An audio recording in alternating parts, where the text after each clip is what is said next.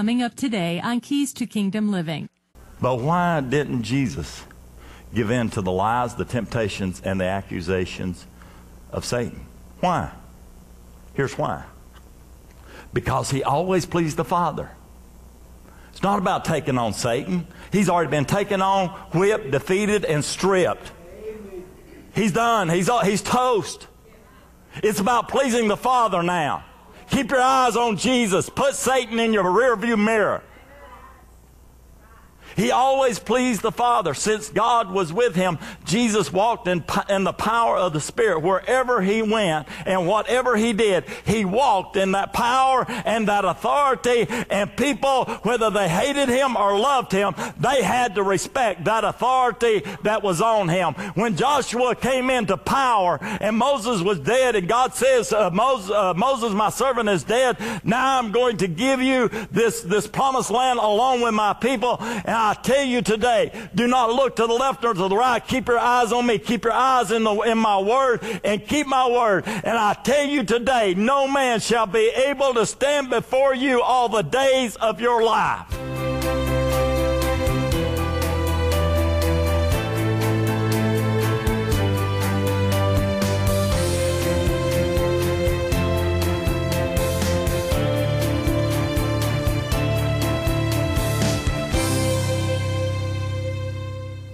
Welcome to Keys to Kingdom Living. I'm your host, Pastor Asa Dockery. Today we're bringing you a new word. It is entitled Exchanging Volatility for Stability. This is a right now word for the body of Christ. It helps us through the Word of God to understand what is going on spiritually and how that is working out in the natural. Get out the Bible, go with me, and let's hear this powerful word straight from God. In Hebrews 1, the writer of Hebrews says that God upholds all things by the word of his power. He speaks it and it exists. And then after it exists, his word has the power to keep it. I want you to think about the planets and how they're all spinning in, in up in uh, the universe. We're on a big old ball in the middle of nowhere and it's sitting here. And nothing removes it. It doesn't fall out of space. It's amazing, isn't it? It's because God upholds all things with the word of his power. And the Lord has given me some serious wisdom to share with you all today. I want to invite you to hear what the Spirit is saying by opening up your hearts and let's get God's word hidden in our hearts so that we do not sin against it. Will you do that? Look there in Matthew chapter 7. Let's pick it up in verse 24.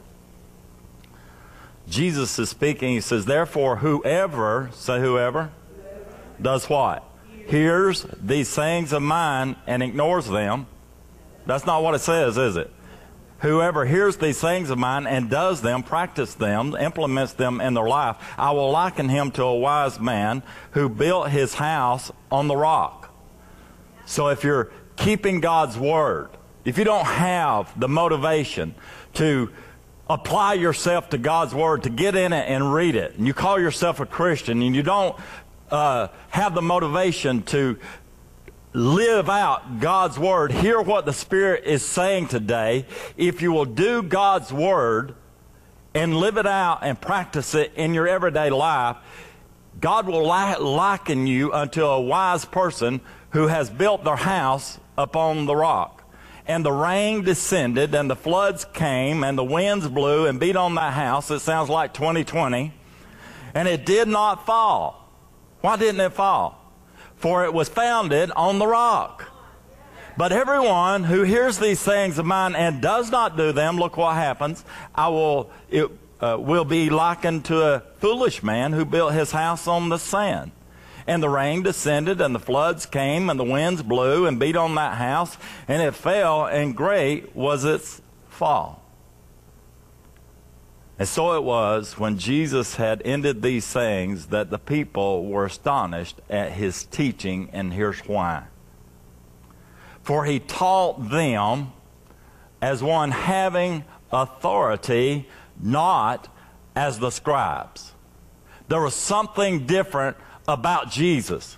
When Jesus spoke, it brought about a place of authority in the atmosphere and people sense the authority on Jesus' life and says, wait a minute, something is different about this rabbi, this teacher, than about all those other rabbis and all those other teachers. When he speaks, there's authority behind what he is saying. And when you speak with authority, it's not that, oh, I feel some goosebumps, I feel the presence of God. It is that hell is hearing the word of God go forth and is shaking the gates of hell and it's breaking the chains off of those that are bound and oppressed and sick and broken. And when the word goes forth, it breaks the strongholds of the enemy off of people so that they can go free. If you want to hear the word of God, hear it with authority. And if you want to have authority, live out this word.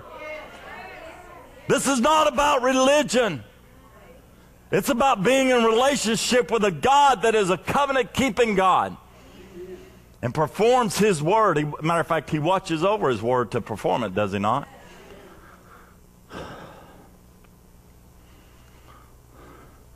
The powers and the works of Satan aren't effective in a family, a nation, a society. The powers and the works of Satan are not effective in a church fellowship where God's word and God's will are kept by the people. No weapon formed. That means Satan's powers, his schemes, his works, his lies, his tricks are ineffective. They fall powerless to the ground when the people in that family, in that nation, in that society, in that church fellowship trust in God and obey His will and His word. When the storm comes, the house is going to stand. Look at all this church has gone through in 2020 and how hard the enemy is still hitting this body. But this body is still standing because this body has shown Satan and hell and the world that this body is standing on the rock Christ Jesus and there's nothing else that can keep a body intact, a family intact, or a family intact except building your lives on this word. The storms will, listen, the storms will reveal what you're building your life on. Nevertheless, even believers can give themselves over to the enemy to cause volatility to come into their lives. We as believers can give ourselves over to the enemy. Hear what the Spirit is saying, y'all. And when we give ourselves over to the enemy, we don't realize we're doing it, but it can happen and can cause volatility to come into our lives instability, unrest. Do you want to live in a sense of volatility or live in stability? Stability is where we need to be, is it not? The devil is working overtime through people who are disobedient to God's will and God's word.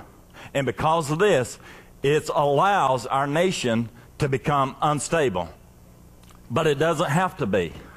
I want you to look that everything that God has up under his auspices, up under his control, up under his authority is stable.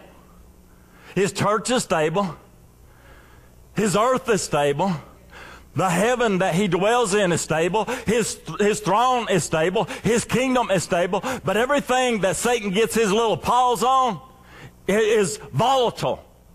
There's always that question, what's going to happen next?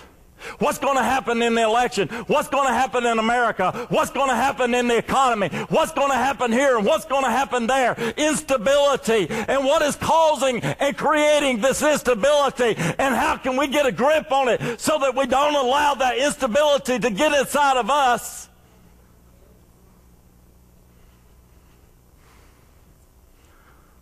Turn with me to Genesis chapter 3.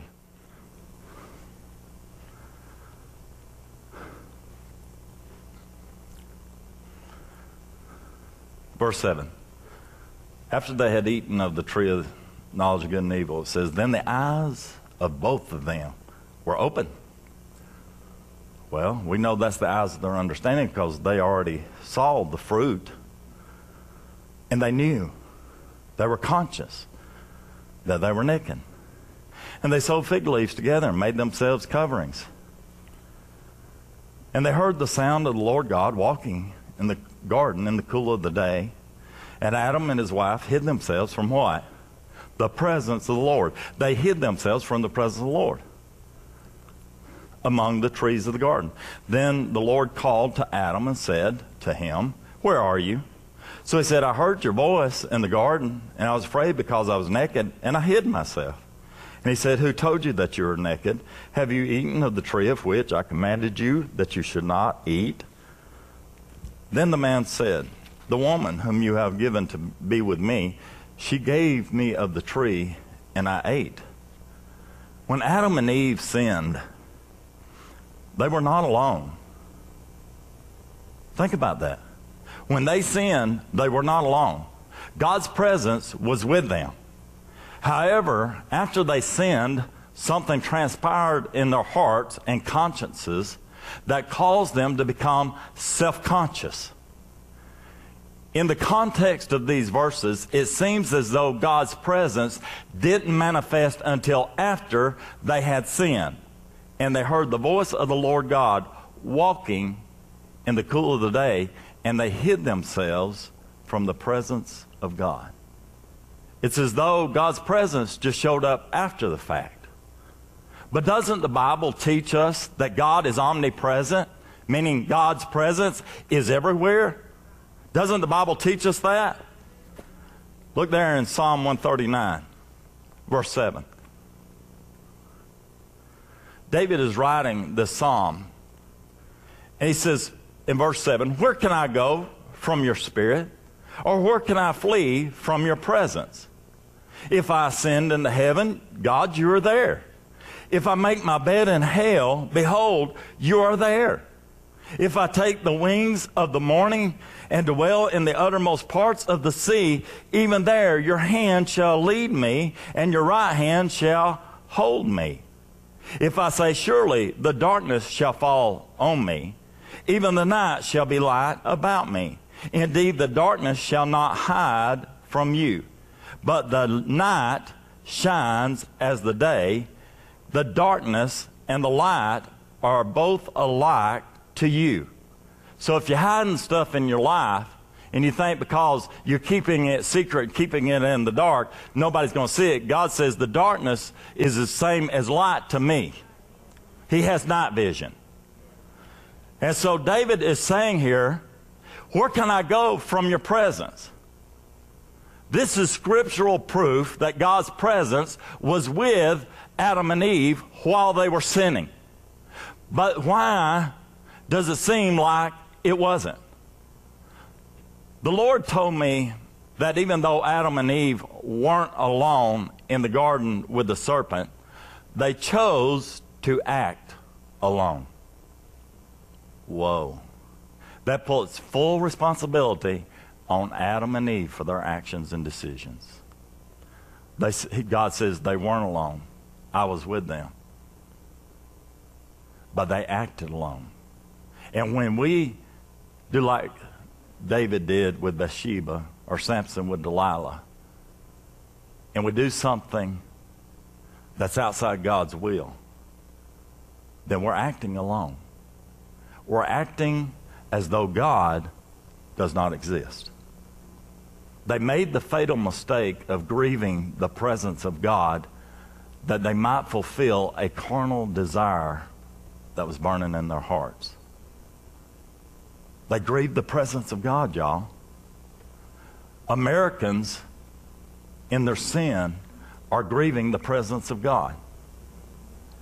After Adam and Eve both quenched God's spirit and his presence by giving in to lust, the presence of God lifted from them and they became self conscious. So if we can get out of self and get back into God's presence, then it'll change the way we think. It'll change the way we see ourselves, and the way you see yourself will, de- will determine how you speak out your mouth and how you act. As Christians, we have to get back into the place that God created man, both male and female, before the fall. We have to press into God's Word, press into His presence, and that's exactly what God has had us to do in this year, throughout the year, is press into Him. When the storms got rough, we pressed harder into Him. When hurt and pain came at us like tidal waves, we pressed into Him and we kept pressing into Him, and we're continuing to press into Him until we become God conscious instead of living our lives being more self conscious. What we've got to do is, right now in this year, what the Spirit is saying to the body of Christ is to press into God. If fear is gripping your heart and you're worried and anxiety is just off the map in your heart and you don't know what, what to do and you're wringing your hands, God says, press into me. And when you press into me, my presence will come upon you. He will keep those in perfect peace whose minds stay upon Him. That's His word.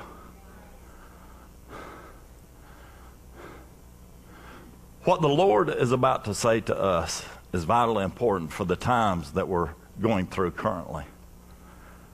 Until believers become personally captivated by the presence and the nearness of God's Spirit, they may have the tendency to feel alone when they encounter spiritual attacks. Get that in your spirit. We have to become personally captivated by God's presence and His nearness by pressing into Him when these storms come. You remember when David and his men were fighting the Philistines and they came back from battle? And they came to Ziklag and they came there and they found that Ziklag was burned and their families and their belongings were gone and they didn't know what had happened. What did David do? Did he do like his men and pick up stones ready to kill somebody over what somebody else had done? Or did he humble himself and put on the ephod to go into God's presence, to press into God's presence? And he, it says in the Bible that David got down and he encouraged himself in the Lord and he sought the Lord, says, Lord, can we pursue and can we overtake? And God says, because you have pressed into me in a time of battle, in a time of war, and you didn't let what happened to you that was wrong get you all tied up and offended and bitter. You, you pressed into me and you sought me. Not only will you pursue, not only will you overtake, but without you, without fail, you shall recover all. And they went and they found their, their children and their wives and they were well. And God says, I know where they're at and I'll take you to them and you will bring them back. And I am the God of restoration. If you'll get this in your spirit, God is saying, draw draw near to me. I am near to those that are broken and contrite, and I will be with you, and I will show you the way through, and I will bring restoration back upon you and your family's life. But whatever you do right now, don't make the, the fatal mistake of thinking because of what we're going through that God's presence has abandoned us or abandoned America. That is a lie from hell. God's presence is right here. God's presence is in Washington. D.C. God's presence in New York. God's presence is in California. And God's presence is in Georgia. Where can we go from God's presence? What we've got to do is get out of this self conscious mode that Adam and Eve got us into.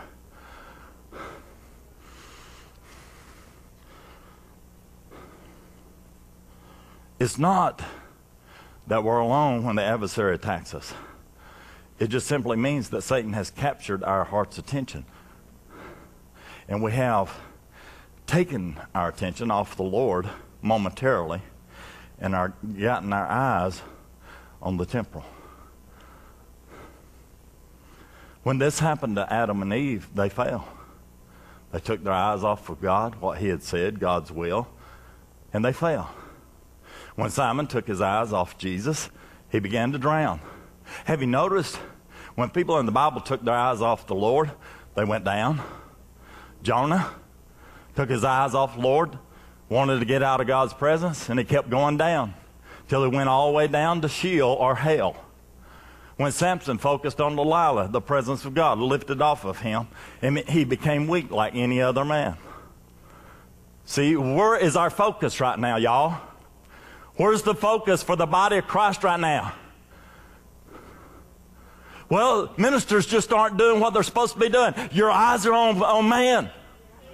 It, work out your own salvation. If there's not a shepherd to shepherd you, work out your own salvation. Get in God's presence and say, as for me and my house, we're going to serve God. But we've got to press into God's presence, and God's presence will come upon us and overtake us, and we will be like Jesus. We will have authority that the scribes and the Pharisees do not walk in. Because God is with us and God is for us. But when Samson sinned, it says God's spirit left him and he didn't realize it. And he lost his strength and he became weak, weak like any other man. That tells us something. When the church gets its eyes on Delilah, the spirit of Babylon, and goes after filthy lucre, the lust of the eyes, the lust of the flesh, the pride of life, and forsake this, they're walking out from under their spiritual covering and they're forfeiting their authority. And Satan will pick up on that and go after us like a dog with a, a bone. But there's hope. Look in Ephesians chapter 6, please. This is this hitting close to where you live? Verse 1. Children, obey your parents in the Lord, for this is right. Honor your father and mother, which is the first commandment, with promise, that it may be well with you and you may live long on the earth. And you, fathers, do not provoke your children to wrath, but bring them up in the training and the admonition of the Lord. And bondservants. Well, he's hitting us all, isn't he? Be obedient to those who are your masters according to the flesh, with fear, with fear and trembling and sincerity of heart as to Christ, not with eye service as men pleasers, but as bond servants of Christ, doing the will of God from the heart, with good will, doing good, doing service as to the Lord and not to men knowing that whatever good anyone does, he will receive the same from the Lord. Not man, you'll receive it from God when you do it as unto the Lord, whether he is a slave or free. And you masters do the same things to them, giving up threatening, knowing that your own master also is in heaven, and there is no partiality with him. Boy, that's a good scripture for racism. Masters, give up your threatening, knowing that your own master also is in heaven, and there is no partiality with him. You, you're a son of God. You're a daughter of God. You're not a slave of God. There's no slaves and masters in God's kingdom. I'm no longer a slave. I'm a son, and you are a daughter of God because there's no partiality. I feel the anointing on that. God is speaking to somebody right now. We get our identity not from the color of our flesh, but we get our identity from Christ and Christ alone because in Him there is no partiality. And then He says, finally, my brethren, here it comes, y'all. Be strong in the Lord and walk in the power of His might. And how do we do that? By putting on the whole armor of God that you may be able to stand against the wiles, the strategies of the devil. For we do not wrestle against flesh and blood. Spiritual authority comes from being spiritually submitted to God in all things. That's why I read most of that chapter. The first part of it is talking about submission. And once we learn how to do spiritual submission, doing things for people as unto the Lord, and God will reward us for those things, then we're operating in spiritual authority. Jesus spoke as one having authority, not as the scribes and the Pharisees. So if you don't want to feel alone, don't act alone. Whoo, that burnt. If you don't want to feel alone, don't act alone. you will notice in these verses, as we do what we're required by the Lord to do as His children, as employees, as children of our parents, and as Christians, we're also instructed to do them as unto the Lord.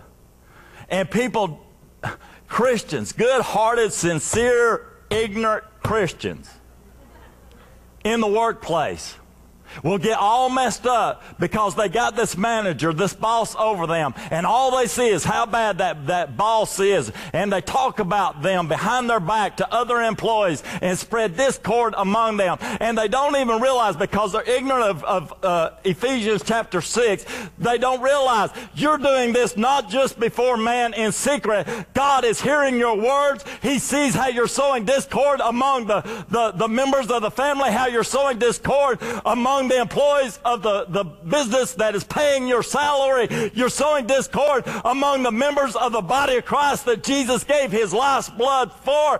And God sees that and God is not pleased with that. But if you'll press in and say, you know what? I'm on this job. I may be doing my 40, but I'm doing it for God. Take your, your vent to Him. Because if you'll pray for your manager, God just might change you. Slipped that in there, didn't I? When we do all that we do as unto the Lord, this is key, or another catchphrase that has become popular in 2020 it is essential. So that the enemy cannot deceive us into thinking that we are in this dangerous world alone. When we do everything that we do as unto the Lord, then this is key so the enemy cannot deceive us into thinking, hey, we're in this, this world alone.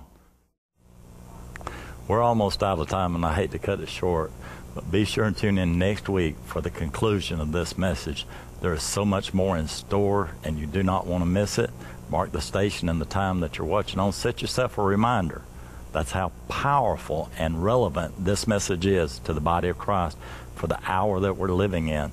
God is preparing us, equipping us, so that we will not have that feeling as though God has abandoned us. He is with us, He is for us, and He is powerful and mighty to save according to the Word of God. So be strong in your faith and look to the heavens because God is sitting on His throne and He's fighting for your victory. As I get ready to leave you today, I want to encourage you if you have any prayer requests or praise reports, would you email those in at prayer at whcnorth.org or you can call the church office. Information will be at the bottom of the screen. Let us know how we can agree with you, and we do that. Myself and the intercessors pray over the prayer request. We've seen God move mountains, change lives, change physical situations because He hears the prayers of the righteous, and the righteous, the prayers avail much. As always, I want to give you opportunity also if you've been watching Keys to Kingdom Living and you would like to sow into this ministry, visit our website, whcnorth.org. There you'll be able to navigate to the tabs of PayPal and Givelify. You can give safely and securely, and all funds go straight back into the television ministry to allow us to do what God has called us to do. That's to teach the Word of God to the nations. And we're so grateful to Him for this opportunity. I'm grateful to you for watching today. I pray God's richest blessings upon you and your family this week.